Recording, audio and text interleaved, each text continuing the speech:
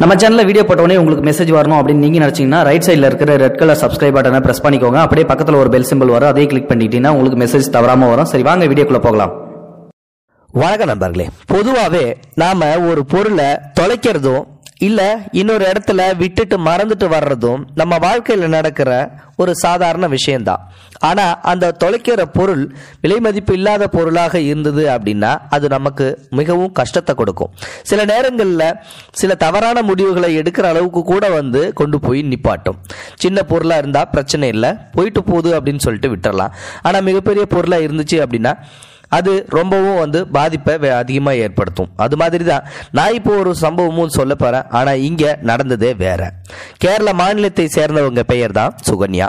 இவங்க தன்னுடைய சொந்தக்காரங்களோட கல்யாணத்துக்கு கொச்சின் பகுதியை சேர்ந்த ஒரு திருமண மண்டபத்துக்குள்ள போறாங்க. அங்க போயிட்டு கல்யாண வேலைகளெல்லாம் இழுத்து போட்டு செய்கிறாங்க ஏன்னா நெருங்கிய சொந்தக்காரங்க அப்படின்றதால சாப்பாடு ப சமைக்கிறதுல இருந்து சாப்பாடு பரிமாறுற வரைக்கும் ஹெல்ப் பண்ணிக்கிட்டு இருக்காங்க. சாப்பாடு சமைக்கிறதுக்கு தனியாக ஆட் போட்டிருக்காங்க. இருந்தாலும் அவங்களுக்கு தேவையான சின்ன சின்ன உதவிகளை செஞ்சுக்கிட்டு அது மாதிரியே வந்து சாப்பாடை பரிமாறவும் செய்கிறாங்க இப்படி ரெண்டு மூணு பந்தி கிட்டத்தட்ட வந்து இவங்க பரிமாறிடுறாங்க. பயங்கர கூட்டம் வந்து ரஷ்ஷாகவே இருக்குது. இந்த கூட்டம் எல்லாம் கம்மியானதுக்கப்புறம் சுகன்யா சாப்பிட்டுக்கலாம் அப்படின்னு சொல்லிட்டு இருந்திருக்காங்க. அந்த ஒரு சமயத்தில் வந்து பார்த்தீங்கன்னா இவங்களோட அந்த மூன்று பவுன் தங்க செயினை வந்து தொலைச்சிருக்காங்க. இந்த மூன்று பவுன் தங்க செயின் தொலைஞ்சது வந்து இவங்களுக்கு தெரியவே இல்லை. சாப்பாடு வந்து பரிமாறுற ஒரு பிஸிலே வந்து இதை கவனிக்காமலே விட்டுட்டாங்க. கூட்டம் நல்லா குறைஞ்சிருச்சு. இப்போது ஓரளவு கூட்டம் குறைஞ்சதால தனக்கும் பசி எடுத்துக்கிச்சு. நாமளும் போயிட்டு சாப்பிட்லாம் அப்படின்னு சொல்லிட்டு தன்னோட ஃப்ரெண்ட்ஸுங்களோட சேர்ந்து சுகன்யா சாப்பிட்றதுக்காக பந்திக்கு போய் உக்காடுறாங்க அப்போது பேசிக்கிட்டே இருக்கும்போது சுகன்யாவோட ஃப்ரெண்டு அவங்களோட கழுத்தில் அந்த மூணு பவுன் செயின் இல்லாததை பார்த்துடுறாங்க அப்பதான் சுகன்யா கிட்ட இந்த விஷயத்த சொல்கிறாங்க ஏ உன்னோட மூணு மூணு பவுன் செயின் எங்க?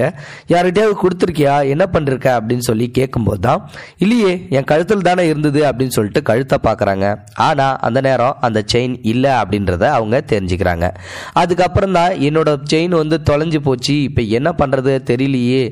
எவ்வளவு கூட்டம் இருந்துச்சு. யார் எடுத்துகிட்டு போயிருப்பாங்க? நான் எந்த இடத்துல போட்டேன்? எதுவுமே தெரியாது. இப்போ என்ன பண்ணுறது மூணு பவுன் செயின் ஆச்சு. சின்ன பொருளாக இருந்தால் விட்டுட்டு போகலாம் மூணு பவுன் செயினை எப்படி விடுறது? அப்படின்னு சொல்லிட்டு சுகன்யா ரொம்பவே தவிச்சுக்கிட்டு இருந்திருக்காங்க.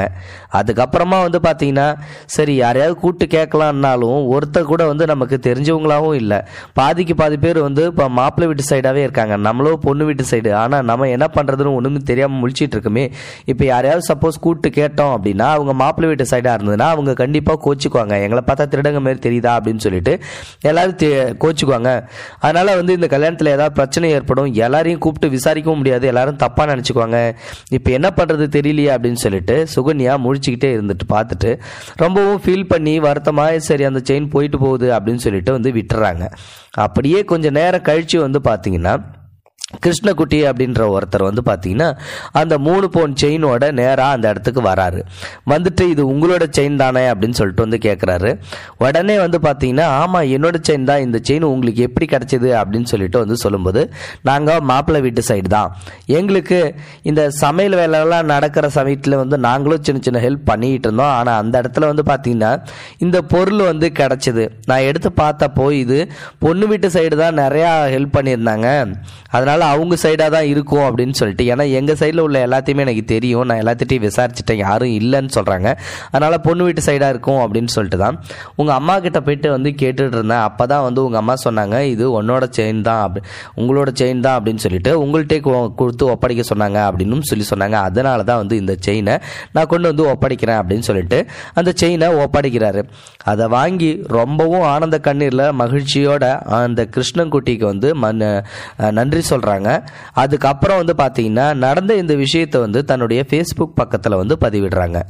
ஒரு ரூபாய் கீழே கடந்தாலும் அதை எடுத்து பாக்கெட்டில் போட்டுக்கிட்டு மற்றவங்களுக்கு வந்து கொடுக்காம போகிற இந்த காலத்துலேயும் மூணு பவுன் தங்கச்செயின் கீழே விழுந்ததும் அதை எடுத்து தான் பாக்கெட்டில் போடாமல் உரியவங்கள்ட்ட ஒப்படைக்கணும் அப்படின்ற அந்த நல்ல குணம் படைச்ச அந்த கிருஷ்ணன்குட்டியை உண்மையிலுமே பாராட்டுறேன் அப்படின்னு சொல்லிட்டு தன்னுடைய ஃபேஸ்புக் பக்கத்தில் வந்து பதிவிட்டிருந்தாங்க.